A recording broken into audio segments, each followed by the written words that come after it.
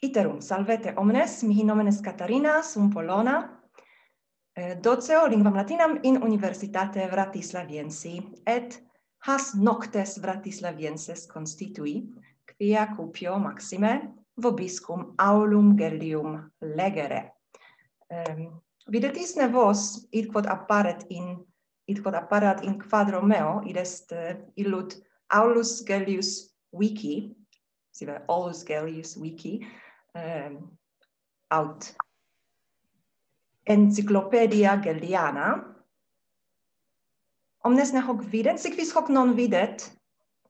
Textum prefationis potest nunc arquid dicere non tuta omnes hoc videre. Eh, ergo utiam dixi eh, maxime vereor eh, et pavida sum nunc putavam fortas eh, quinque vel decem amicos venturos, eh, sed vos tot estis, gaudeo maxime. Eh, hodie velim eh, vobiscum Paulum de ipso Gellio colloqui, et legere quedam eh, loca huius prefationis.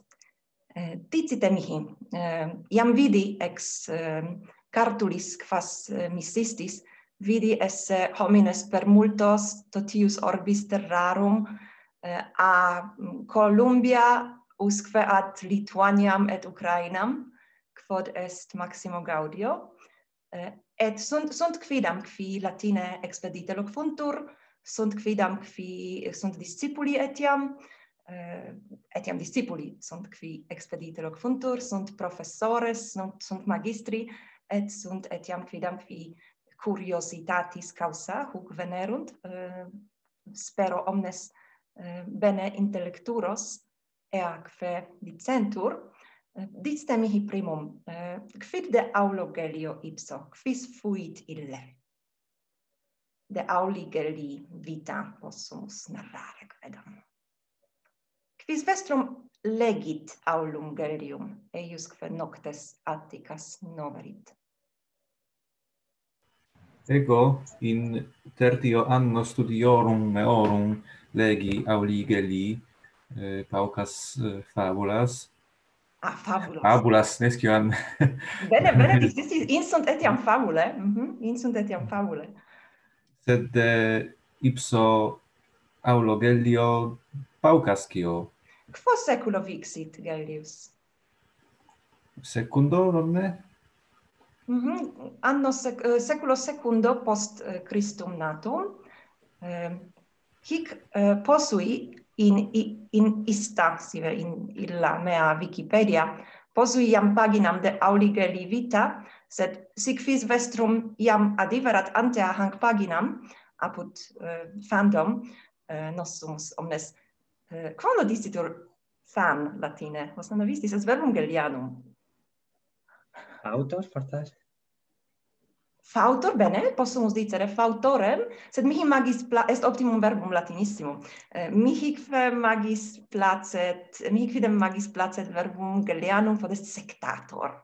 Nos sumus geli sectatores, quia eh, eum secfimur, non ne, sive sectamur, eh, ego saltem eh, vestigia geli sectari soleo apud alios auctores non solum antiq antiquos etiam a, a, apud auctores temporum posteriorum.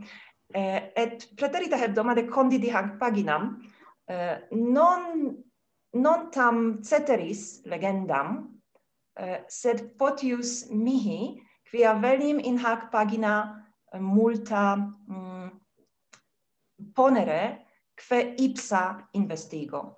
Ergo posui hic paginamque adhuces vacua eh, de aulige divita, eh, in quam paginam eh, no, lo ipsa scribere sed potius erunt um, auctores alinum ne? Investigatores viri docti eiusque libri uh, verim enumerare libros eo, eorum uh, quide aulogelio scripserunt. Quorum maximus et eh, notissimus investigator est fortasse novistis nomen eius. Vir oxoniensis nostrorum temporum qui modo paravit editionem novam editionem noctum atticarum editionem et ante vigint ante triginta annos triginta ab hinc annis scripsit librum clarissimum de aulogelio. Est ne vobis notum nomen huius viri docti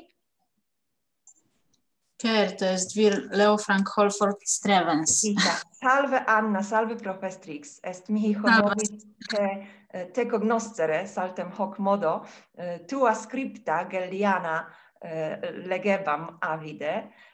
Anna est Profestrix Polona, quae etiam quae studet jurisprudentie et propter quod Aulus Gellius multa etiam de de iuribus scripsit Anna Eh, investigat aulum gerimet vertit etiam eh, quedam capitula in lingvam uh, Anna mentionem fecit irius viri docti oxoniensis, id est Leo Frank holford Strevens, qui scripsit librum uh, maxim momenti primum apparuit hic liber ut puto anno duo de nonagesimo, nos iam habemus editionem recentiorem, huius libri anno bis millesimo quarto Ehm, publici juris factam, cuius titulus est eh, Aulus Gellius, an Antonin scholar, and his achievement nisi fallor.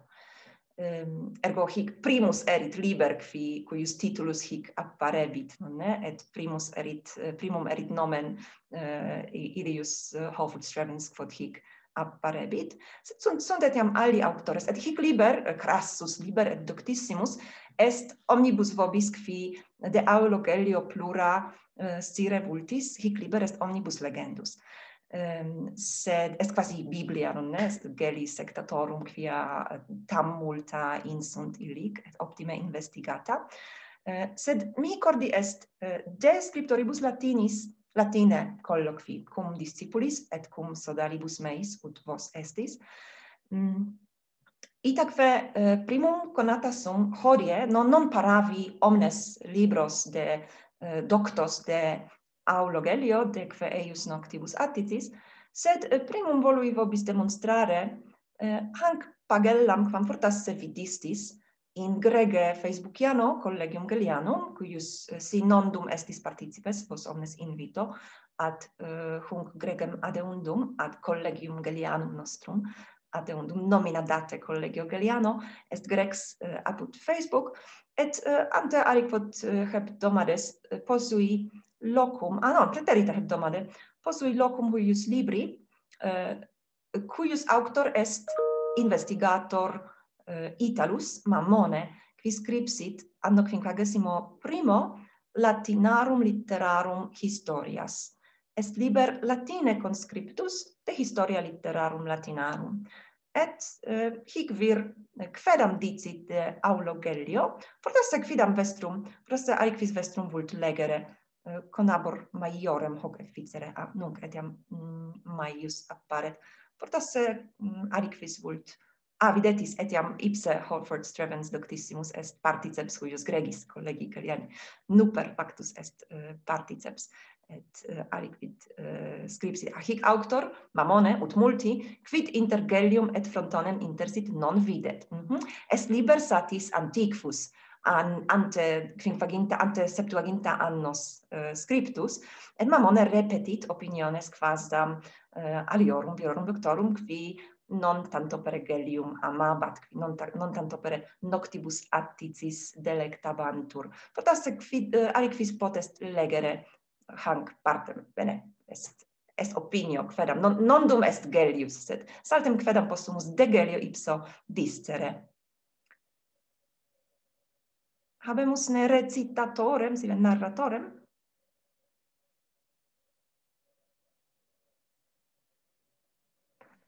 Sebastian? Equi equidem possim, si. Ah, est nomis homo, bene. Quod est nomen tibi, dic? Alexander, et sum Columbianus, patria. Ah, tu es Columbianus. Bene, Alexander, gaudeo te cognoscere. Eh, lege queso, hanc, paragraf. Bene. Illum scribendi morem, etiam aulus Celius secutus est. Ita tamen, ut modum servase et meliore judicio usum esse videatur, e ita tamen Bene. Ile enim nimium illum verborum obsoletorum amorem sua quadam ingeni subtilitate temperavit, qui anno ut videtur ferme centesimo tregentesimo eh, diviti domonatus cum Romae primum deinde Athenis literarum studis totum se dedicet plurimaque scriptorum poetarumque opera lectita viset. Id opus scribere statuit quo quae legens ad notaviset vel memoriae manda viset ea omnia contineretur.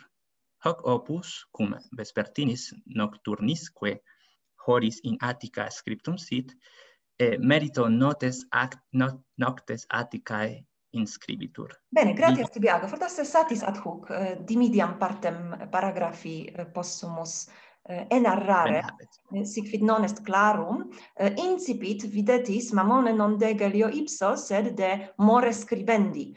Gratias tibiago Alexander.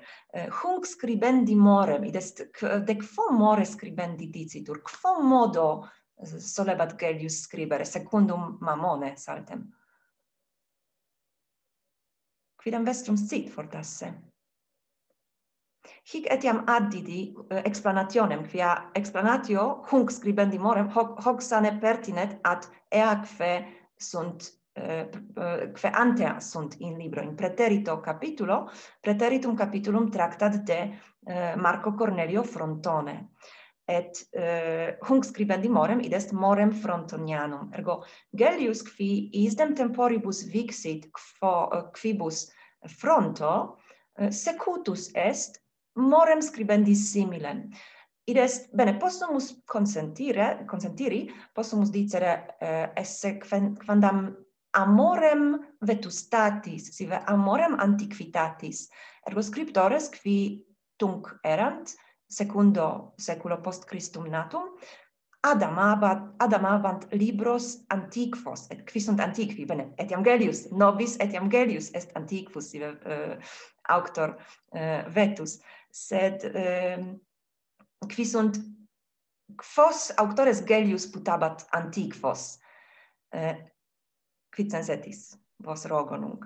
Graecos quid ita Grecos auctores mm auctores eh, temporis eh, rei publice romane. In primis Matteus salve gaudio te adesse eh, Mateus studet historie rerum gestarum et eh, statium responsum rectum eh, dixit ehm, um, auctores eh, tem temporum rei publice.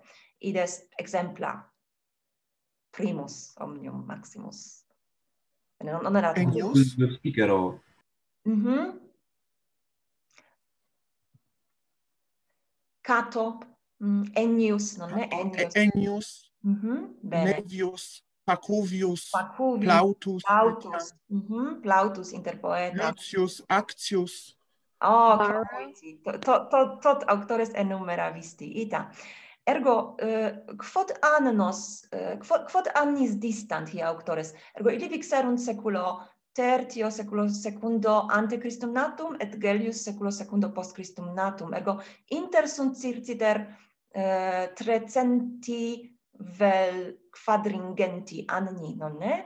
Ergo nos nunc sumus anno eh, bis millesimo vicesimo, ergo fortasse si ego hodie studio um, ehm, auctoribus qui vixerunt um, qui vixerunt seculo decimo septimo, si ved decimo sexto, uh, hoc est simile, non ne? Si velim tales auctores legere, exempli lingua polonica, non ne? Possum sumere librum auctoris seculi decimi sexti, decimi septimi, eh, vel etiam anteriores, quia habemus, nonne, eh, Nicolaum, non Nicolaum, sed eh, Ioannem Cohanovium, poetam clarissimum, qui scripsit multa latine, per multa scripsit latine, eh, sed magis notus est eh, ex libris suis polonicis, ergo possum librum poemata Polonica Cohanovi sumere, et dicere, ah bene, hoc mihi maxime placet, Equidem velim similim modo scribere ac Ioannes Kohanovius et possum vobis Polonice epistulam scribere, sive Carmina scribere, Carmina pangere, lingua polonica eh, non hodierna, non, non lingua polonica qua hodie poloniloc funtur, sed lingua, lingua mutatur, non ne?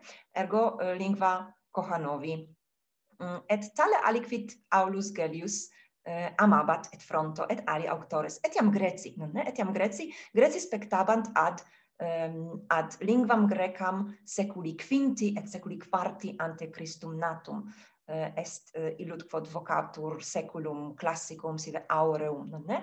Nos potius mm, quod pertinent ad lingvam latinam nos potius uh, putamus seculum aureum esse seculum ciceronianum sed videtis Aulus Gerius, bene, Ciceronem uh, magnopere amabat, et cordi ei erat Cicero, sed uh, multum spectabat uh, ad auctores etiam anteriores, ad Catonem, ad Ennium, et multa verba et multos mores scribendi vetustos inserebat in uh, in librum suum in sum morem loquendi et scribendi. Potius scribendi quam loquendi, de quibus postea. Ergo uh, secutus est aulus Gellius hunc scribendi morem, uh, quimos scribendi uh, vocatur ehm, um, archaismus archaismus est, non est nomen optimum, sed possumus etiam, bene, Gallus Gellius fuit archaistes non, non, non est, non, non est bonum verbum latinum, sed uh, hoc verbo uh, in linguis nostrorum temporum uh, utuntur auctores viri docti. Uh, bene, sed uh, aliter secutus est gallius hunc morem scribendi antiquum, non ita omnino ut fronto. Videtis, uh, videtur Gellius servasse servavisse modum, et videt, Gellius videtur eh, judicio, meliore judicio usum esse inscribendo. Ergo saltem mamone laudat Gellium eh, quod non est eh, tantus amator eh, sermonis veteris quam fronto. Dehis rebus hofus revens scripsit per multa eh, in libro suo est totum caput de de arcaismo geliano qui vocatur mm, non est no, nomen optimum ut dixit u dixi. Um, ille enim mm, quid fecit temperavit subtilitate quadam ingeni illum amorem verborum obsoletorum sunt verba obsoleta verba antiqua verba iam non usitata diu non usitata ergo hec actenus de more scribendi Gelliano videbimus videbimus velim vobiscum Gellium legere multa Gelliana legere et possumus eh, hanc opinionem uh, aut corroborare aut quod non fiet ut puto aut um, aut quedam quasdam nostras opiniones novas ex cogitare de geli scr more scribendi.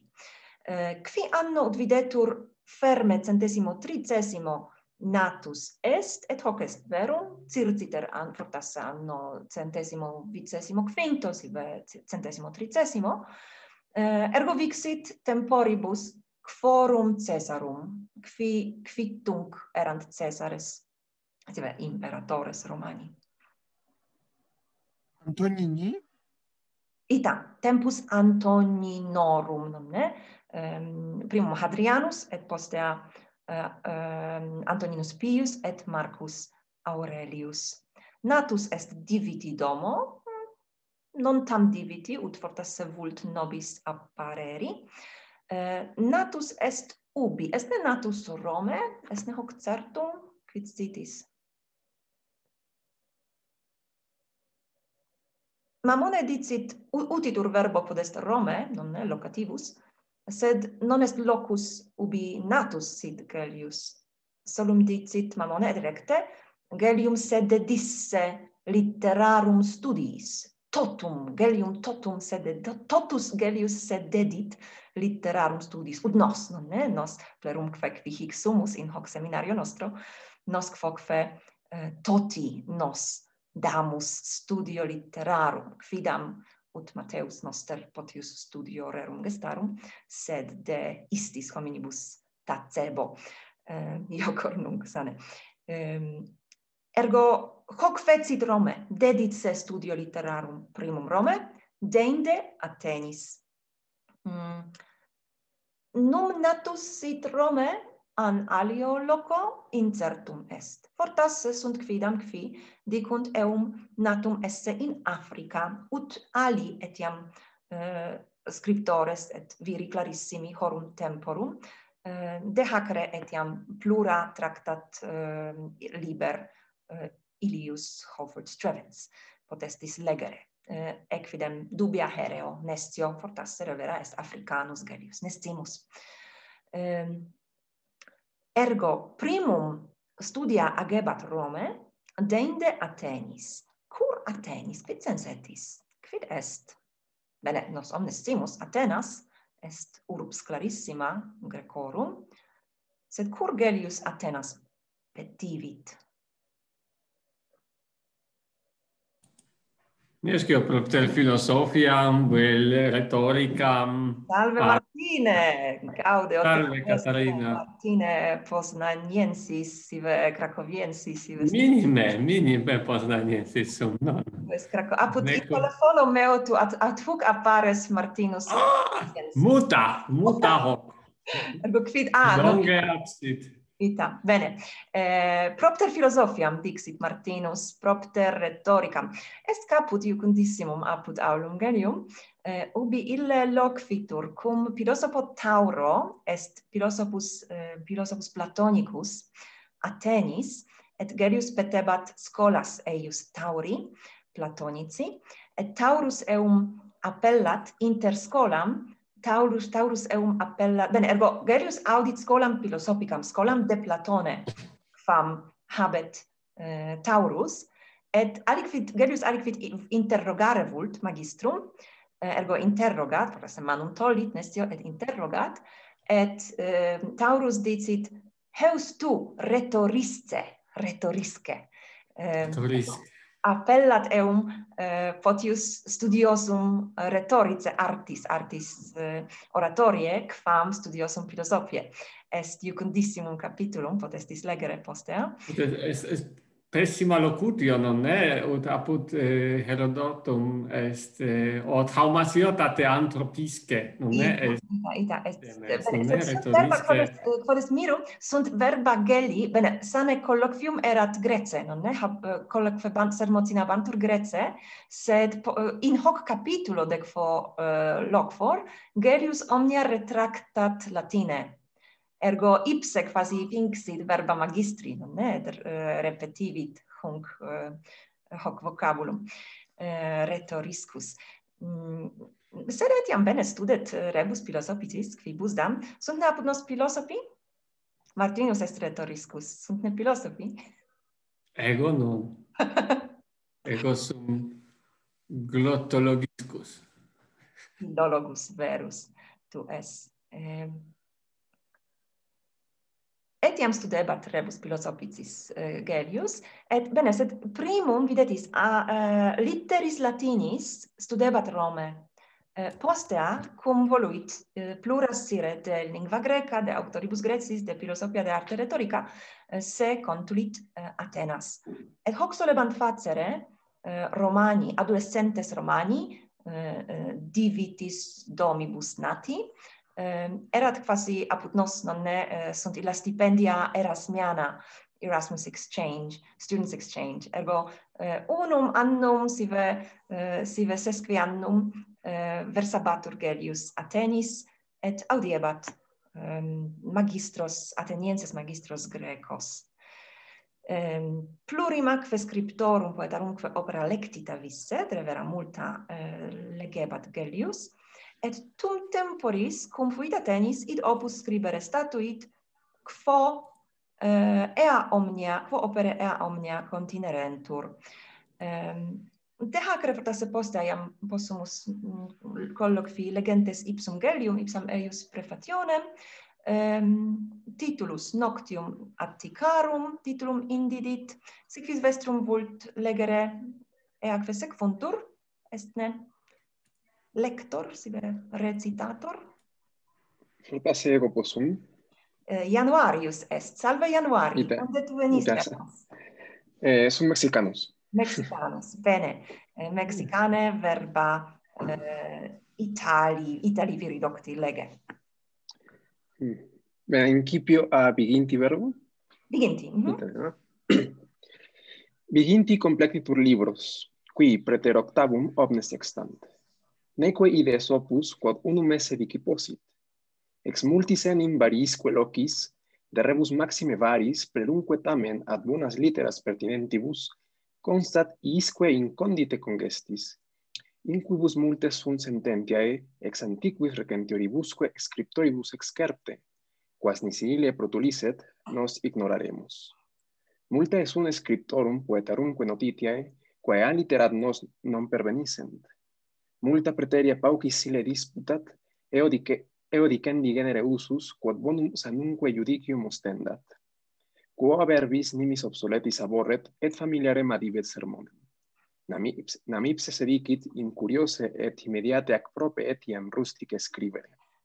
Grazie Stiviago. Equidem rideo tales Diventi. talia verba audiens, quia eh, videtis, hecomnia vera sunt ut ut verum dicamus sunt vera multa multa sententias protulit eh, nobis auctorum uh, antic forum uh, quas nisi ille protulis sed nos ignoraremus. Et sed quod est mm, fortasse corrigendum? Bene non est revera corrigendum qui est verum sed mm, bonum est memoriae uh, memoria tenere Uh, non esse hanc geli laudem non esse veram laudem quia uh, quid latet inter hec verba?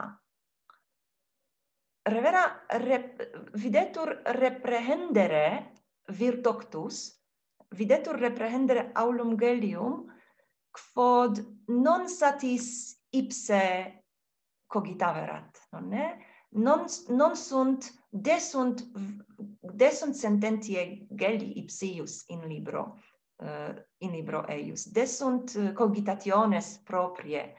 Eh, cur est auctor legendus, quia est utilis, non nec quia nobis tradit verba aliorum auctorum quorum libri deperditi sunt. Ergo hoc est verum revera Gelius laudat et citat multa loca aliorum auctorum sed uh, non est uh, non est bol, bonum solum uh, solum capere has sententias catonis et aliorum auctorum et et solas ipsas um, legere. Semper necesse est totum capitulum Gellianum, immo totum librum mm, to, to, totas noctes atticas legere, ut medius intellegamus, cur nam Gellius hunc autor, auctorem laudavit, cur nam Gellius citavit hec verba, et non alia, non ne? Eh, ergo hoc est verum, sed melius est gelium totum legere, non solum propter has sententias. Bonum est legere noctes atticas, quod est eh, eh, quae sunt lib est liber optimus quod pobis demonstrare conabor mm, et etiam de hac revelim pauca dicere ipse gelius eh, se dicit et hoc quoques verum et mox legemus in curiose dicit se scribere incuriose et immeditat a ah, immediat immeditate necesses hic corrigere. Immeditate ac prope etiam rustice sive subrustice verbum gallianum est subrustice. Ergo dicit sum morem sum scribendi non esse tam expolitum non esse tam eh, elegantem quod non est verum non est multi auctores non est multi auctores hec de se nobis dicunt neque sunt, neque est credendum hoc. Ehm, bene, eh, vultis aliquid interrogare de hoc loco. Sunt neroganda.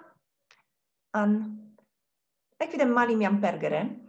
Si vultis de gelio audire auctorem recentiorem etiam valde vobis commendo valafridum stro eh, est auctor, est vir doctus eh, Germanus, eh, valde peritus literarum latinarum et grecarum, et eh, hic in pagina eius apud universitatem monacense ponuntur, sive posit, posita sunt, posita sunt voces ac acroamatum, voces scholarum, ut videtis de historia literarum latinarum, geschichte der lateinischen Literatur, ähm, et sunt deprimenda potestis um, ehm, audire uh, est etiam scriptum non ne? Est etiam opus liber scriptus iam ut puto iam apparuit hic liber. Sed hoc est iucundum quia sunt um, sunt acroases sunt scole uh, latine latine habite.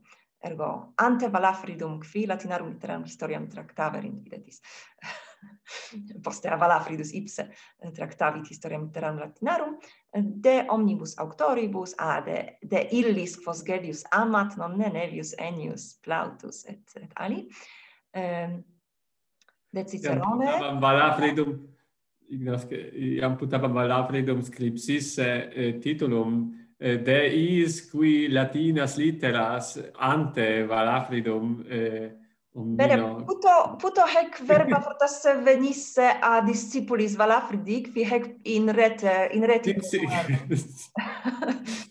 Se fortasse, possumus etiam vid videre, quia est, uh, videtis handouts als eh, uh, pdf datai, possumus videre quia hec sunt eius uh, spectate. Non, non est in indice scholarum de est, solum de latinis litteris. Ergo hoc venit uh, ex uh, ex discipulis Valafri. Iocus. Uh, est bene, est Iocus uh, ipsa non intellexi, non, non, tam, non tam bene, non tam celeriter Iocus intellegere soleo. Um, sunt mihi explananda. Uh, de Ovidio, de Livio, ubi est noster. Ah, hic videtis latet de Svetonio frontone Gelio Apuleo archaismoque quidicitur. Ergo inter frontonem et Apuleum recte positus est, eh, non sunt multa, sunt, sunt fortas videtis omnia, sunt viginti minuta, fortas fortas sec quinque, se septem minuta de Gelio, sed est, eh, est audiendum hoc, valde vobis commendo, quia eh, apud valafridum, eh, eh, id quod ex auditur, id quod videtur in hac eius oratione, id quod statim apparet est amor gelin, ne? Ille non solum gelium legit ut eh, quasdam sententias uh, catonis uh, legat, sed gelium ipsum amat et gelio ipso et noctibus atticis delectatur valafridus et tales viri docti semper placent qui non solum investigant sed etiam qui uh, delectantur um, auctore et opere eius Mm, hoc potas est iam claudendum. Eh, possum vobis hec omnia poste amittere aut eh, ah, quid vid hic hoc etiam claudam. Mm, ergo hic hec omnia sunt hic eh, inserenda vos quoque potestis ehm, hanc paginam mm, hanc paginam scribere et plura addere in hac pagina. Hec est ratio ilius fandom sive wikia Eh, hec est ratio huius horum paginarum, ergo equidem solum posui, primam paginam posui, et quedam mea addo, sed unus quisque vestrum, unacque vestrum potest addere sua, et omnes postea disputamus de his rebus. Est, est sicut Wikipedia, non ne? Sed tota magna pagina de uh, uno argumento, et hic est Aulus Gellius noster, et eius noctes addit.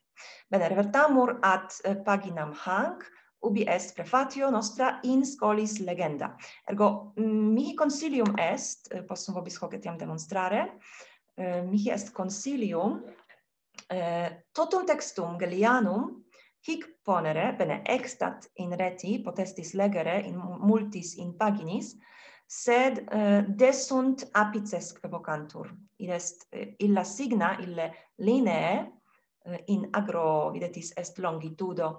Ipsa utor pronunciatione polonica sed tam non pronunciatione restituta sed tamen conor non dum possum eh, quamquam iam viginti annos disco linguam latinam non dum possum recte pronunciare longitudines. Sed cupio discere itacque constitui ponere in hoc in hac pagina totum textum gallianum apicibus instructum. Id est ut omnes possint facile videre longitudinem syllabarum. Quia in primis nobis Polonis hoc est magni momenti eh, quia eh, est sententia antiqua um, fortas audivistis nos poloni non curamus quantitatem syllabarum, ne? Ecco, es omnino per peram dicta opportuit dicere nos poloni non curamus quantitatem syllabarum, sed eh, per peram dicitur per iocum nos, pol nos poloni non curamus quantitatem syllabarum. Ergo ego velim, ego polona velim, eh, curare tandem aliquando quantitates syllabarum itaque eh, hunc textum posui et hoc factum est ope instrumenti quod est fortasse vobis notum vocatur the Latin macronizer quod fecit amicus noster Johannes Winge, Suecus, eh, et ergo nunc est factum celeriter solum posui hunc textum in illo in illa pagina Ioannis et ope huius instrumenti ope huius Latin macronizer eh, automaticos utita dic, dicam feci eh, indidi mm, um, sive instruxi textum apicibus. Um, ergo insunt menda est optimum hoc instrumentum est mult multo melius quam ego equidem non non possem inserere apices tam recte quam de latin macnizer sed tamen sunt quedam verba dubia sunt quedam verba ignota sunt quedam nominaque non sunt non apparent in lexicis ergo non omnia verba rectissime eh, instruxit apicibus hoc instrumentum. Ergo nunc vobiscum legens textum velim etiam sic vis videt mendum statim dicat quia sunt corrigenda ne? Eh, et eh, hec hec solum possumus facere si diligentissim diligentissime librum eh, legimus. Ergo hoc modo volui omnem textum integrum textum uh, latinum noctimaticarum et bene sunt etiam greca in sum greca integrum textum libri velim hic ponere sed in una quaque pagina Eh, pono etiam nexum ad paginam alteram quae est ubi est idem in scolis legendum. Ergo discipulis destinatum eh, possumus nos in hac scola in hoc seminario legere hunc textum possum ego cum discipulis meis sed etiam dum ipsa paro talem textum ipsa disco et merius intellego. Ergo videtis eh, quid quid fecerim? Sunt eh, sententie, che sunt satis longe, non tam longe quam apud Ciceronem, sed etiam sunt satis longe sententie latine, eh, quas sententias divisi in partes. Eh, una quaque una quaque pars continet quandam non est sentent quandam opinionem sive uh, eh, est est cogitatio quedam mm, integra et hoc modo mi quidem nestio vos potestis uh, aliter sentire sed mi multo facilius uh, hoc Eh, legitur mm, multo facilius possum legere talem textum. Etiam melius est possumus etiam non omnes sententiolas ibe non omnes clausulas incipere a margine sinistro possumus etiam movere non ne? Eh, in in locos varios sed hoc nolui facere quia in tali pagina eh, fandom quest estatis simplex pagina nolui nimis turbare hunc textum ergo fortasse propter argumenta computatoria mm, hoc um, hoc posui eh, eo modo non alio. Um, quid etiam est hic in hac pagina antequam incipiemus legere? Um, alie editiones bene ergo hec est editio mea non me editio uh, Catarina editio Vratislaviensis, um, textus est eh, sumptus eh, ex editione leb, eh, sed velim hec omnia ehm, diligentissime legere ante oculos tenens editionem Horford Strevens recentissimam, quae hoc anno, hoc ipso anno edita est, uh, ante aliquot menses, et nunc vehitur ad me, uh, nunc Oxonia Vratislaviam vehuntur libri, Eh, et mox fatas de proxima hebdomade eh, libros accipiam editionis recentissime et tum legebo tum legam eh, editionem oxoniensem et comparabo hunc textum cum ut quadrat ut congruat cum editione oxoniensi Sed servabo, sane, servabo um, apices, servabo longitudines, ergo erit editio omnium optima, non ne?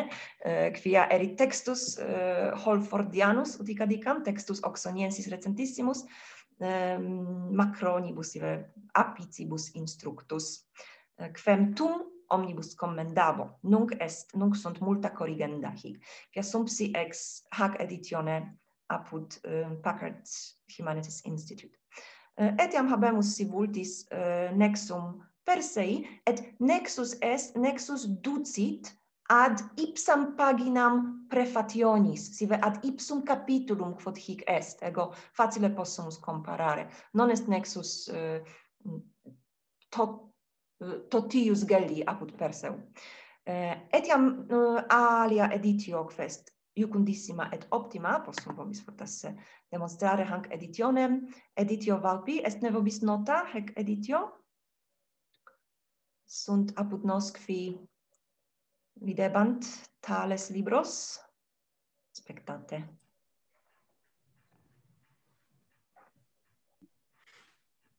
Hec est editio, quem mihi maxime placet, est antiqua, est uh, in, ineunte seculo, eh, nisi fallor publiciuris facta seculo undecesimo ineunte anno, mm, bis, anno millesimo octingentesimo vicesimo vela liquidtale, et maxime mihi placent est tota series librorum, eh, quae vocantur in usum delfini, est sunt editiones londinenses in usum delfini, id est discipulis destinate, et quid hic habemus, potasse in alia pagina melius hoc videbitur.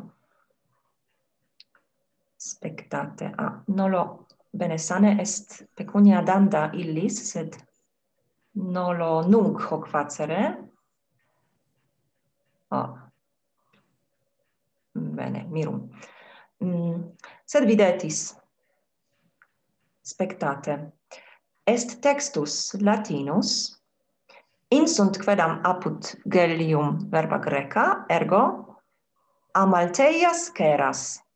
Et fortasse non omnes cimus grecam lingvam, ego nestio solum possum eh, recitare uh, dicere litteras, ergo possum legere magna voce amalteias sceras, sed non tam bene intellego.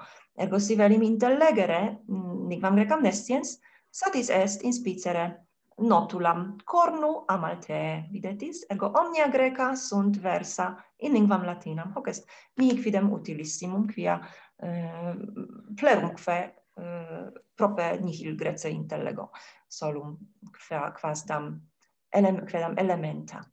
Postea sequitur apparatus criticus quivocatur quiam est obsoletus? Si habemus editionem oxoniensem etiam eh, illam editionem preteritam editionem marshall Uh, iam non erat legendus hic apparatus criticus, et nunc, cum habemus editionem Holford Strevens, iam nihil est spectandum hic, via Holford Strevens omnia legit, non ne, et, et omnia utilia in editionem suam inseruit, ergo hoc possumus omittere apparatum criticum, uh, quia iam viri docti multo plura sciunt de textu Gelliano, ne, de libris manuscriptis, hoc pertinet ad apparatus criticus pertinet ad libros manuscriptos et hic secfuntur note, et note sunt, ut videtis hic, non solum est versio latina, ceras amalteas, corno amaltee, se, uh, sed etiam est explanatio proverbium, quo rerum omnium abundantia significatur. A fabula traxit originem, stilicet Jupiter, a nymphis, etc., etc., etc. Ergo est, hic quod studium meum maxime excitat. Quod mm, optimum est quia nondum habemus commentarium optimum ad totas noctes atticas pertinentem. Sunt quidam, erant quidam viri et femine docte, qui commentaria noctium atticarum eh, scripserunt, ad singulos libros. Habemus commentarium Anglicum, bene, nunc loquor de commentaris nostrorum temporum, de commentaris quos nos philologi classici qui nunc sumus legere cupimus et quae nobis sunt utilia. Eh, et talia commentaria eh, solum extant ad singulos libros. Est commentarius eh, ad librum primum annis tricesimis mm, preteriti seculi scriptus sed optimus et et plenus non ne? Multa insunt in hoc commentario. Commentarium ad librum secundum scripsit annis sexagesimis ipse Hofford Strevens, er, erat eius dissertatio doctoralis, eh, commentarium ad librum tertium ipsa confeci, er, erat quoque mea dissertatio doctoralis, nondum est editum, sed nunc cepi, post decem annos cepi rursus investigare librum tertium, et fortasse eh, edam eh, post aliquot annos commentarium eh, libri terti, eh, a commenta a, a libro quarto usque ad librum decimum tertium sive decimum quartum habemus satis bonas notas italice conscriptas in editione in, in versione italica a Franco Cavazza facta.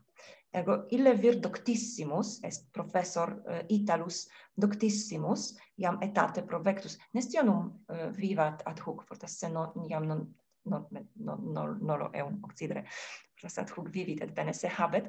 Ille scripsit eh, uh, soleba scribere annis uh, octogesimis et annis non, nonagesimis, nonagesimis uh, eh, solebat uh, facere conscribere editionem itali bene editionem et versionem italicam noctum atticarum sed uh, et in primo uh, primo volumine id est in volumine quod continet libros a primo us patertium prope nulle sunt note sive brevissime et solum spectant ad versionem italicam. Sed a libro quarto noctium atticarum cepit cavazza conficere notas ampliores. Et he note spectant ad librum Eh, ad libros a quarto usque ad decimum quartum. Decimum tertium sive decimum quartum, non sum certas de decimum quartum. Sed postea iam nihil editum est a Franco Cavazza quod ad gerium spectaret.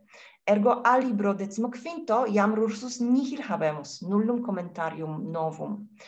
Eh, habemus etiam commentarium Germanice conscriptum ad librum decimum tertium, sed nec fehic commentarius est editus publiciuris factus est dissertatio doctoralis. Quam habeo si vultis habeo imagines huius libri. Mm. est sed hic in illa editione sunt note que vocantur sunt note multe et note que vocantur note variorum. Idest auctores huius editionis eh, uh, sum pserunt multas notas ex multis editionibus uh, antic fioribus.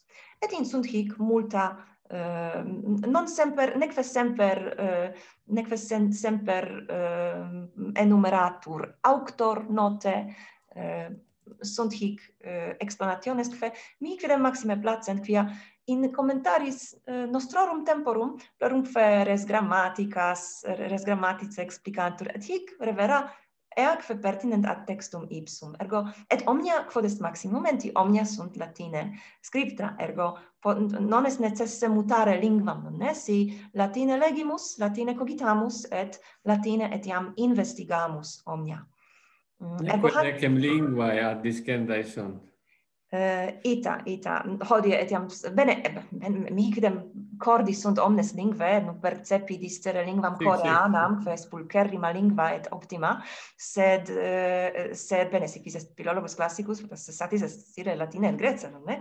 Cur discam lingvam anglicam ver germanicam, quas lingvas etiam adamo maxime. Uh, sed hic, bene, possumus omnia investigare uh, lingvam non mutantes, hoc est bonum. Vultis nari quid interrogare de hac editione, si vede de alis rebus? Et iam mox. Potes nemittere nexum, huius libelli, huius editionis nexum, nobis. Hic ah hic est bene. est omnia nunc omnia quae invenio statim pono apud fandom. Eh, ergo eh, nexum huius pagellae est semper hic in, in his paginis que, que spectant ad unam quamque ad unum quodque capitulum Gellianum sive ad prefationem ut hic non est poste iam prefatio est satis longa videtis sed hic est Mm -hmm. postea erunt eh, uh, postea tractabimus capitula singula per sunt breviora et in in in initio uh, in parte uh, superiore uh, unus unius cuius per pagine quae pertinet ad capitulum exempli gratia libri tertii capitulum decimum quartumne hic erunt nexus quae ducunt eh, uh, recta via ad locum cuius editionis. Ego bene sed eh, missisti ne nobis nexum huius pagellae quam nunc nobis ostendis? Ita. Sic? Aha bene. Ut puto. Saltem hec est hoc est hoc hoc constitui facere. Ergo sinondum est factum hoc faciam mox. Bene, bene. Factum. Etiam alias bene possumus inspicere, pulsare hic et qui apparet. Sed ut puto prefatio apparuit statim. Ita, prefatio. Ergo hoc constitui facere. Si pagina apud fandom spectat ad capitulum secundum libri quarti, hic nexus erit etiam ad editionis Valpiane locum, certum. Eh, hec editio est etiam commendanda propter, bene, editiones auctorum, hec series editionum, Delphin Classics ut videtis, eh, est etiam commendanda propter alias causas, et hoc solum breviter mm, mm monere vos volo, Nempe prefatio ad lectorem bene hoc hex sunt etiam jucundissima, sed potest non non tanto per ad gelium spectant, sed postea quid sequitur. Est longa prefatio de vita et rebus Auligeli, multa et latine. Libellus commentarius de vita et rebus Auligeli. Et ex his libris uh, scriptis mm, seculo mm, unde vicessimo sive duo de vicessimo possumus non solum de ipsos auctores distere sed etiam possumus distere latine. Et hec omnia sunt videt videntur mihi magis vera quam apud uh, apud illum mamone exempli gratia quia. Uh, viri docti qui tales prefationes scripserunt revera amabant auctores postea iam amor disparuit. Viri docti seculi unde vicesimi sive Eh, duo eh, sive vicesimi iam eh, non tanto per amabant auctores latinos et hic apparet um, amor noctium atticarum. Sane multa sunt hic obsoleta sed si legitis hoc propter lingvam propter latinitatem et holfordem strevensium propter uh, doctrinam uh, omnia de Gelio scietis et poteritis etiam narrare de Gelio et latine. Um, testimonia de Aulo Gelio et de alis auctoribus quoque in alis editionibus. Ergo hoc est uh, bonum quia uh, laudantur loca auctorum qui Gelium legebant et quid censurint de illo. Uh, et bene, non sunt multa, potasse necesse plura hic addere. Eh, ergo hec sunt laudes huius editionis quam vobis valde commendo. Et iam sum parata ad legendum, eh, solum etiam vos monere velim de recitationibus, primam recitationem, bene, quedam iam antea feci, eh, sed hanc primam hodie feci conata sum melius recitare, etiam secundum hunc textum longitudinis, longitudinibus servatis, Eh, potestis hoc auscultare si placet apud Anchor FM ubi est eh, quod dicitur podcast cuius titulus est Noctes Bratislavienses, ergo est novum non solum apud YouTube, sed etiam apud Anchor, apud Spotify et apud alios invenitur et primum est hoc. Ergo sic vis vestrum vaca, vacuit antea eh, fortasse jam uh, audivit mm, uh, tri uh, oquamdectur quattordecim se tredecim minuta uh, recitatio durat huius prefationis bene mm, iam horam consumpsimus in colloquendo sed ut puto erat utile etiam detalibus portas sali vestrum vult hanc primam sententiam legere. Incipit antequam uh, eh, antequam recitemus iva antequam auscultemus uh, monendum est videtis sunt tria signa tria tres stellule nonne asteriscoi uh, quid significant hec stellule sive astra quae da lacunam est lacuna mm -hmm. in ipso initio est lacuna et hoc est satis ehm, um, magni momenti quia fortasse uh, aliquis vestrum memorie tenet uh, apud mamone uh, eh, legimus de libro de perdito sunt viginti libri noctium atticarum et unus eorum de perditus est qui liber est de perditus Octavus. Liber, Liber octavus est deperritus, non omnina est deperritus, quia habemus eh, uh, lemmata sive titulos capitulorum. Ego stimus de quibus rebus tractaverit hic Liber octavus, sed preter lemmata eh, deperdita sunt ipsa capitula.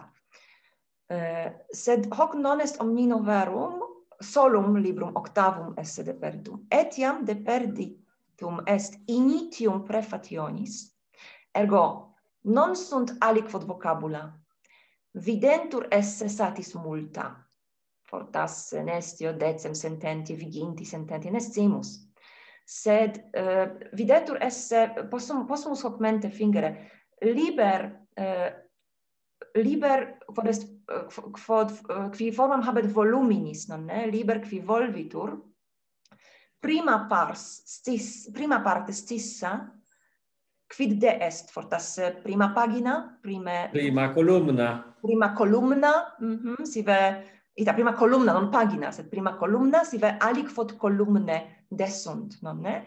Ergo nescimus sed sat multa hic videntur de esse idem factum est in parte ultima libri vicesimi. Ergo in libro vicesimo solum insunt uh, nisi fallor undecim sive uh, duodecim capitula. Ergo est liber brevissimus omnium. Ergo quid censendum est, portas se nesio quinque capitula desunt ultima um, nessimus. Portas non multa si si ligna eius voluminis eram nimis pulcra et quidam fur voluit habere ligna ipsa mm -hmm. et mhm eh, textum a eh, lignis tasse non multa perdita sam. Bene, fortasse invenientur olim, non ne? uh, nunc, ego incipimus in medias res, ut dicunt. Uh, statim, uh, statim salimus in dim, in mediam partem sententiae ergo nestimus de fare agatur possumus excogitare, ne? exempli gratia. He said his iucundi ora alia reperirique unt. Eta sed si est sed non ne quid quid antea erat? Martine lege queso primam sententiam. Ergo iucundi ora alia reperirique unt. Ad hoc ut liberis quoque meis partae istius modi remissiones essent quando animus eorum interstitione aliqua negotiorum data laxari indulge indulgerique potuisset Gratias tibi agimus Martine etiam audivimus horologium tuum quia i hora est decima ergo horologium decem decies sonat. eh, si si si posso eh, eh, in initio ipso aliquitate puto illo hoc o es breve. Ita hoc hoc est brevissimo. Mm -hmm. ad hoc possum stati mutare si vultis. Detis facilime fit. Fortasse. Ita sane non es ablativus est ad hoc. Ubi est? Ad hoc.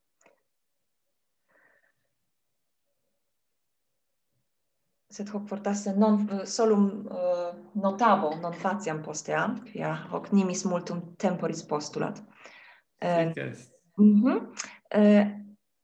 ut liberis quoque meis essent parte istius modi remissiones secundre alia reperiri feunt quid quid fit hic in hac centenia de decfare agitur quae sunt remissiones partae quid est mm -hmm. remissio negotiorum. Il otium. Remissiones idem fere significat quod otium. Mm -hmm. Ut esset otium liberis meis. Otium istius modi. Otium literatum, ne? Ergo est quam sententia videt isque incipit a uh, vocula ut ut essent parte remissiones ut esset otium liberis meis. Quando otium esset? Animus eorum, quando, quando quidem non ne, quando potuisset animus eorum, animus liberorum, inter, interstitione aliqua negotiorum data laxari indulgerique. Ergo cum liberi mei potuis sent eh, tempus vacuum habere ne otio frui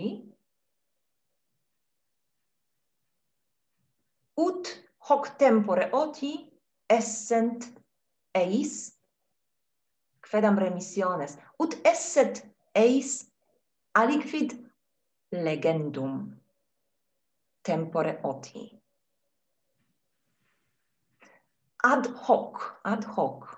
Ergo, est quidam, est quidam finis hic, non est sententia nos grammatici possumus uh, dicere sententiam finalem, non è? Cur. Interrogatur cur. Ha? Ut liberi mei haberent aliquid legendum. Tempore oti. Sed quid interrogatur? Eh, e, habemus responsum, interrogatum est hic, in ea parte que, uh, eh, quede est. Ergo, quod est interrogatum? Quod potest esse interrogatum? Cui interrogato hoc respondeat? Eh, si est responsum puto quoque eh, coma, coma es, es eh, loco pravo utita dicam, si mm -hmm ad hoc et nunc comma ut liberis sic puto. Sed hoc non est magni momenti puto puto hoc eh, hec duas voc has duas voces puto addere secunda alteram sive tertiam sive quartam causam. Ergo erat sive responsum erat quoddam res, quoddam interrogatum quod habuit cui interrogato Gellius dedit duo tres quattuorve responsa et hoc est responsum ultimum. Ergo preter ea quae modo dixi etiam ad hoc ut liberis meis est in remissiones. Portasse interrogat quis quis quade causa eh, uh, Gellius uh, eh, libellum sum scripsit. Hoc idem puto, Anna, video te, gaudeo te, vider menum te vidio. um, hoc puto, est, bene, est, est statis facile, non è? Quid scribitur in prefationibus? causa, non è causa libri. Uh, cur nam auctor talem librum scripserit? hoc est interrogatum, nonne? Est uh, nihil melius excogitare ipsa non possum. Semper sic quid scribit primum primum causam dat, nonne? Cur est hic liber magni momenti, cui quod est qui est scopus huius libri, nonne? Quem ad finem hunc librum scripserit. Ergo interrogatur Gelius se ipsa portasse interrogat, nonne? Cur ego hunc librum scripsi? Ergo primum propter hancrem, secundum propter hancrem, tertium propter etiam aliam, et quartum ad hoc etiam ultimum ut liberis meis esset aliquid legendum. Quid sensetis? Elde, quia puto ceteros auctores esse nullius preti nullius momenti ego pater meorum liberorum melius cio qui legant, non ne? Ita, sane. Eh, unum est addendum hic, um, bene, ergo duo sunt addenda. Videtis, hoc est difficilimum, fia statim est opus philologicum maximum est. Nos debemus, non discipuli qui solum quedam latine sciunt, non possunt tam facile uh, excogitare sensum. Ergo, medius est fortasse incipere cum discipulis merius est omittere omnino hanc partem hanc sententiam et incipere sententia secunda quia hec iam est tota et novum argumentum incipit hic. Eh, et de hacere fortasse possum solum narrare discipulis nostris quia hic iam insunt iam multa multi multe cruces insunt non multa multa argumenta philologica sunt investiganda. Eh, duo velim animadvertere. Eh, primum quod pertinet ad illa ad illut interrogatum quod satisclarum videtur ne cur nam Gellius hunc librum scripserit et quedam alia responsa quae antea fortasse erant hic sed iam non sunt eh, sunt quidam qui putant gelium librum suum Caesari dedicavisse. Et bene nihil simus de hacre est omnino ignotum sed proptera quod in ipso libro, in inter ipsa capitula, eh, uh, insunt quedam mentiones Caesaris, non multe, sunt quidam qui putant uh, eh, initium prefationis dedicatum, bene, in initio prefationis, Gelium dedicavisse librum totum Caesari, et pretera libris suis, sed in primis Caesari, imperatori, et idem viridocti putant inter ultima capitula inter illa ultima capitula quae de perditas de perdita sunt etiam plura quedam fuisse de Caesare ipsa. Quia possumus persequi per totos noctes a totas noctes atticas possumus persequi quasi vestigia Caesaris non sunt multa sunt fortas tria quatvorve loca sed Gellius quasi ducit lectorem suum Mm, ducit adolescentem romanum eh, est quasi cursus honorum eh, sed cursus honorum non ita ut apud Ciceronem exempli gratias sivet eh, Gaium Iulium Caesarem sed cursus con honorum philologicorum ut ita dicam. Ergo eh, ego sum si, si sum uh, adolescens romanus et volo um, volo petere summos honores Um, necesse est mihi esse virum civiliter eruditum. Necesse mihi esse eh, necesse mihi esse eruditum. Et viri eruditi eh, si si es eruditus potes amicitias colere cum viris maximi in republica momenti cum senatoribus non ne cum pretoribus et cum alis non ne eh, cum oratoribus clarissimis cum philosophis sunt viri mag magni in republica momenti. Et Gellius videtur ducere lectorem suum ab initio usque ad finem ilius cursus honorum, cuius scopus, cuius finis est eh, amicitiam colere et hoc iam est excogitatum hoc non est iam apud Gellium sed videtur finis esse amicitiam colere cum ipso Caesara Caesare fieri amicus Caesaris et ultimum capitulum i quod est initio libri vicesimi quod habemus ubi fit mentio Caesaris est capitulum ubi Gellius una cum favorino philosopho expectat eh, expectat mm, salutationem Caesaris. Ergo sunt in ipsa aula Caesaris, Gellius Favorinus, ali, uh, viri docti, et ali adolescentes uh, nobiles, qui uh, in aula Caesaris sunt, et salutationem Caesaris expectant, et hoc est primum nisifalor capitulum ultimi libri, libri vicesimi.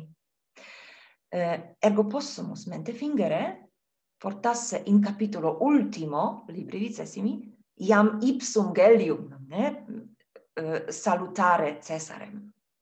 hoc nescimus, mi quidem placet maxime uh, talis interpretatio fortasse aliquid dicit de hac re uh, femina docta beata ber beata ber possum vobis demonstrare est liber recentissimus ah non hexon tuiam videtis uh, spectacula americana eh, et alia eh, et sed mm, a ah, hic facile fortasse possum invenire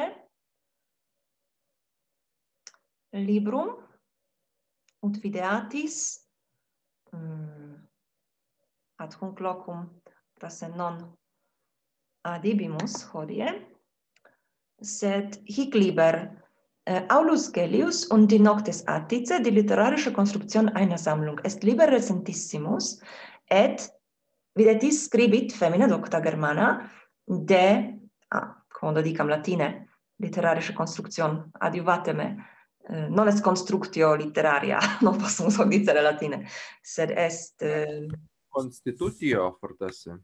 Constitutio literaria, mm -hmm. Ergo est eine Sammlung, est liber ähm, varius, ut dixit mamone, est liber... Lectu fortasse.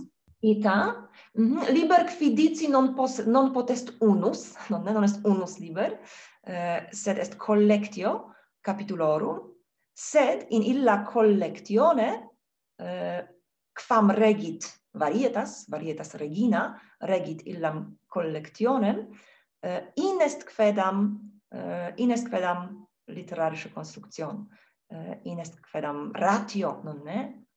Ehm, ratio literaria.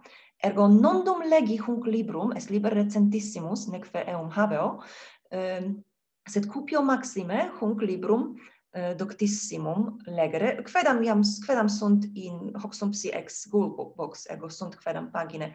Sed non dum tempus mihi fuit ad Eh, legenda eh, fortasse hic in hoc libro latet quedam explicatio fortasse eh, beate per aliquid dicit de mm, de hac re. Fortasse vos vultis addere aliquid fortasse non constructio neque compositio sed eh, est ali alio modo dicendo compositio usurpatur. Ad modo recentiores. Uomo do eh, compositum sit opus verali aliquid cui generis magis verbo utamur quam abstractum vita vita eh, ergo hoc erat animam vertentum de mm, de illis causis scribendi non ne? Fortasse vult dicare librum Caesari aliud ergo hoc quod primum eh, sive prius eh, monui spectabat at totos totas noctes atticas. Aliud est uh, minutum minutissimum.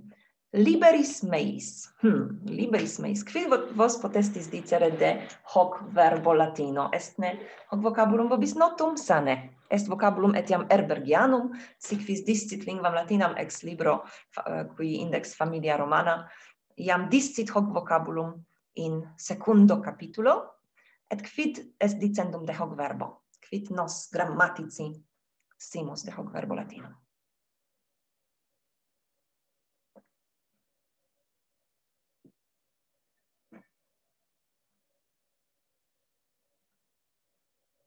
discipuli dicite mihi.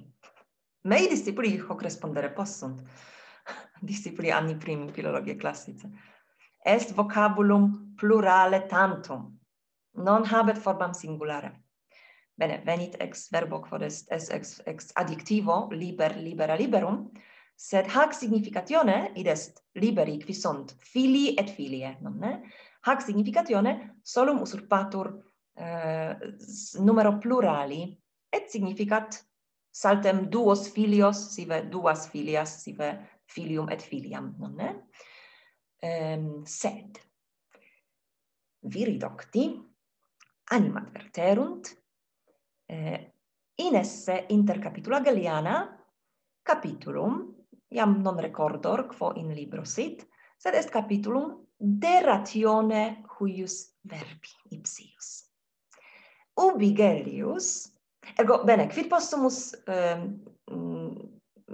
primo obtutu, quid possumus, eh, sive, primo visu, quid possumus excogitare Gellius, habuit liberos ides habuit saltem duos filios aut saltem duas filias non filium habuit saltem unum filium habuit ergo saltem duos filios aut filium et filiam sunt liberi pluraliter dicti sed in est capitulum Gallianum ubi Gellius laudat locum Catonis nisi fallor sive ali um, alius um, auctoris antiqui um, temporum rei publice quo in loco plane apparet verbum liberi pluraliter dictum quod tamen pertinet ad unum filium tantum.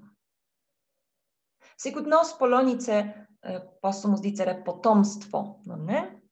Moje potomstwo, etiam sic fis unum filium habet si unam filiam. Eh, in lingua anglica mm, fortasse etiam hoc dicitur non non non mi in mentem non venit. Eh, Latine proles, non ne proles. Proles, ita, proles. Sed eh, proles verbum poeticum plerumque pertinet ad spectat ad unum filium sive unam filiam. Eh, sed hic habemus verbum plurale, non ne? Quod semper in, in pler, plerisque velocis eh, significat saltem duos, non ne? infantes ut itadicam uno verbum, ne? Liberi. Sergelius stit et laudat locum Catonis, Catonis ut puto, uh, ubi uh, liberi significant unum filium. Ergo propterea, propterea causam, propterea quod viri docti, animad verterunt, uh, eh, animad verterunt uh, hunc locum, in alio capitulo Geliano, statim excogita verunt gelium hic etiam eodem modo usurpari hoc verbum. Ergo sunt vid docti qui asseverant gelium habere gelio fuisse solum unum filium quem filium de quo filio nihil simus non ne quia Necve nomen eius, necve, nec, necve ipse filius, apparet in noctibus artic, articis, nec, necve quicquam stimus de gelio preter noctes atticas, preter illa fe ipse scripsit de se in noctibus atticis, nihil stimus de illo, eh, necve stimus eh, numerum liberorum. Sed viri docti sunt, qui dicunt gelium habuisse unum filium, quem ille eh, vocavit, eh, hic a, a, appellavit liberos pluraliter. Quid vos sensetis de hac opinione?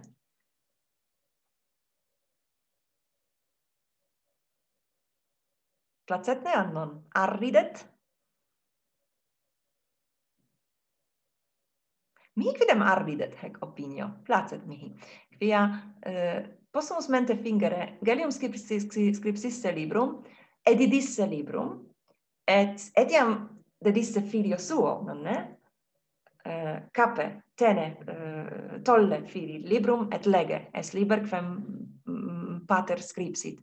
Et tibi Caesari sed etiam tibi dicavit pater. Et filius incipit legere et in pagina quartas secunda invenit hunc locum. Ut liberis quoc femeis parte istius modi remissiones essent. Et filius tum stupet nonne pater tu ne alios liberos habet pret, habes preter me?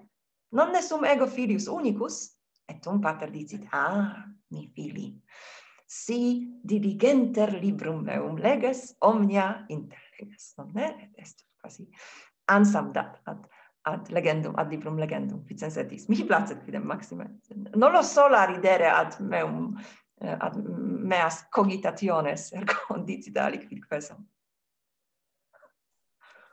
in mentem mihi eh, quoque testamenta eh, Romanorum eh, veniunt. Ah, hoc est comparandum. Sic vis sic vis testamentum facere voltet solum unum filium habet.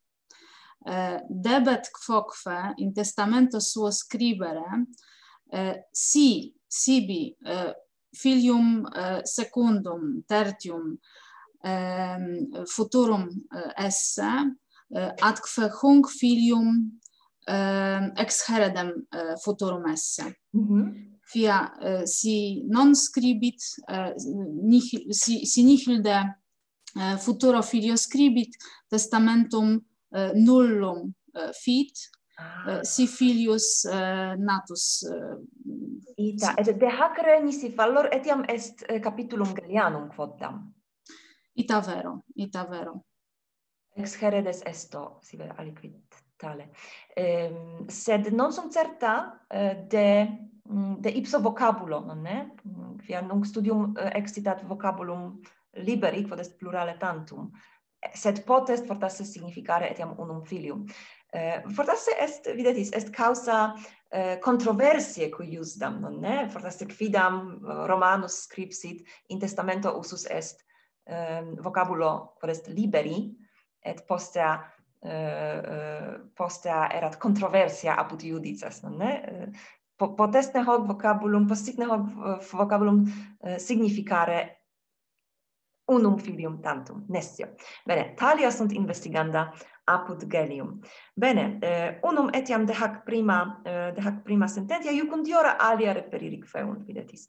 Eh, ergo est verecundus auctor. Est idem quod mamone laudavit gerium scripsisse eh, morem suum scribendi esse sub rusticum, sive eh, in cultum, non ne, in, ele, in elegantem, et hoc est idem. Alia iucundiora reperique un fortasse potestis facile invenire eh, alios libros uh, quae magis vos delectabunt sed uh, tamen habetis hunc librum ante oculos et hunc librum mecum legitis um, ehm, usi sumus ordinarerum fortuito ergo hic videtis sententia secunda est de de regina cuius nomen est varietas ordo rerum fortuitus sed iam hic finem faciam hodie quamquam mihi placet vobiscum legere et disputare de gelio, um, ehm, restant septem minuta, quia hoc constitui, potesse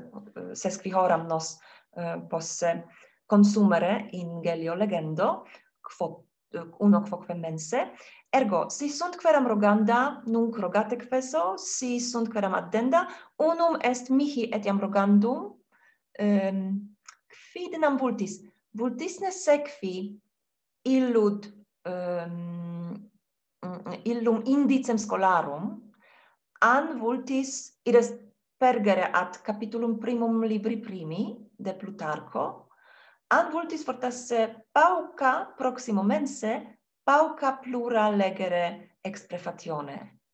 Quid sensetis? Mi quidem ut dicam statim, mi quidem placet, sive placeret mihi legere quedam pauca exprefatione, et fortasse breviter de capitulo primo libri primi.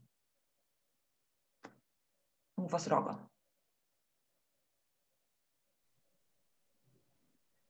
Tase ita quedam excepta eh, praepationis et eh, postea recta via eh, in eh, capitula eh, potius ire Mi placeret. Capitulum primum est brevissimum, et prefationem potestis ipsi etiam soli uh, aud, uh, legere et audire fortasse placebit hec recitatio.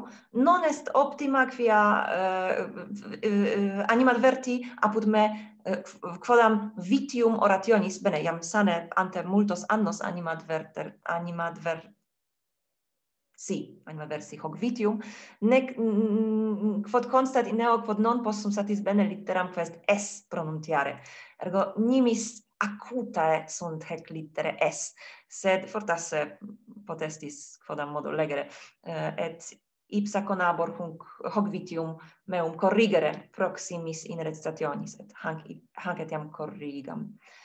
Eh, ergo sic vis vult potest hoc mense legere, audire, auscultare totam prefationem et eh, est iucundissima revera per placet. Eh, si videbitis menda quedam etiam potestis corrigere in ipsa hac pagina, sive ad me scribere, eh, et proxima, proximo mense Iam volui dicere proxima hebdomade, quia hoc solet cum discipulis fieri, non ne? Eh, singulis hebdomadis eh, scoles sunt, eh, scole habentur. Proximo mense legemus quedam excerpta prefationis et capitulum primum, et multa de Plutarcho tum discemus. Quid etiam multis dicere? Ad dere.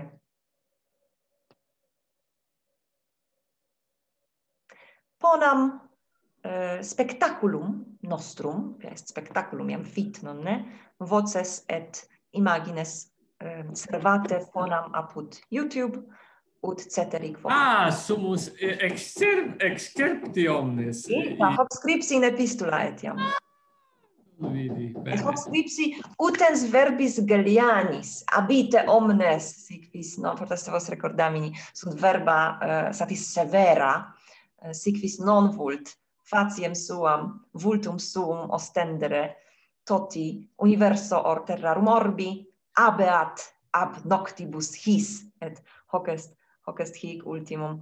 Hoc fortas est oh Catarina risparuit uh, eh, videtis ubi est hoc. Mm. Catarina! Dic? Ego atsum, heus?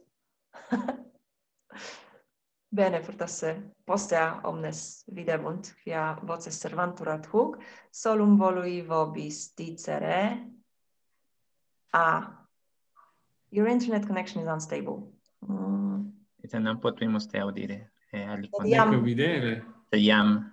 Iam ad sum, nonne? Sed omnia servata sum. In computatorio meo omnia servantur, ergo... Ubi fuisti? Eh, a tenis. Eh, sed spectate.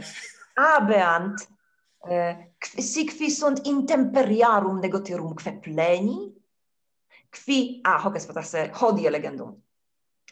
Erit autem id, et eh, ipsa legam, erit autem id longe optimum, ut qui in lectitando, percontando, scribendo, commentando, nunquam voluptates, nunquam labores ceperunt, ergo, qui non sunt ut nos. Qui sunt pigri qui nullas hoc genus vigilias vigilarunt hec est etiam causa quid est nostra vigilia apud americanos est hora tertias ve quarta pomeridiana sed apud nos iam est nox prope est nox attica nox vratislavientis vratislaviensis et nos nunc vigilamus vigiliam gellianam sic fis uh, inter nullis eiusdem muse emulos inter no ah, perperam dixi. Neque ullis inter eius de muse emulos certationibus, disceptationibusque elimati sunt, nos hodie videtis sumus elimati inter eh, quid sum, nos sumus elimati pau, paulum eh, certationibus et disceptationibus. Vos non vultis mecum certare de Gellio de quen noctibus atticis, potius estis dociles discipuli, sed eh, equidem cupio certare cum vobiscum de Locis Gellianis, eh, sed qui sunt intemperiarum negotiorum pleni, abeant a noctibus his procul atque alia sibi oblectamenta querant. Ergo querite sibi alia oblectamenta eh, si noctes non placent. Eh, vetus adagium est nil cum fidibus graculos nil cum amaracino sui. Eh, nie dla psa kiełbasa po polsku eh, no forse non est optimum. Eh, eh, et hic etiam grece non ne? Greca non leguntur recitavi magno cum labore potestis audire me grece recitantem sed hodie nunc viva voce non recitavo eh, nisi sunt alia dicenda addenda iam velim vobis valedicere hora decima intimitia Gratias Maximas tibi agnus. Gratias vobis, iam sumus, quod homines sumus, quadraginta duo. Eh, ho, volos dire, quod sumus? Quadraginta duo. Kvinkvaginta Adraginta ah, du. Ita, kvinkvaginta. Omnium gent, a Martina quiatus serus venisti, am, omnia hoc hec dixi. Somus nunc quadraginta duo sodales segelli sectatores, est uh, maximum mihi gaudium, maxime gaudio vos bene, bene nos tot esse, et omnium terrarum revera, omnium gentium homines. Eh, esne iam eh, sat eh, numerus utitadicam satis est ut fiat universitas vel ah, academia. fortasse possumus. A ah, pluras adeunt nunc quadraginta septem. Nestio quid fit sed iam scola um, ad finem um, pergit. Bene gratias vobis ago maximas potestis ad me scribere, sive ad aulum Gellium, non ne aulus Gellius gmail.com. Eh, Et aulus Gellius rescribet? Aul, bene, Catarina rescribet, non ne? Liberi Gelli rescribet. Gellia quedam, non ne? Uh, Gellia Vratislaviensis.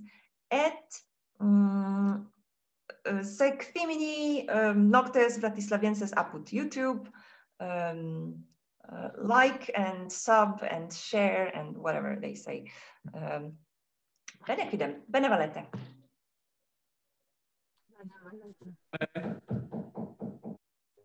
Ah, sunt germani quidam, audivi, audivi quendam mensam pulsare. Gratias vobisago. Non mensam, sed apud me fit eh, renovatio quaedam motivati. Ah, Martin, iam alleolo pulsatur. Usdam placuisse. Non. Tua domus non. Pulsatur, maleolo pulsatur paries. Oh, me miseram. Eh, sed bene, bene valete. Vale. Bene valete.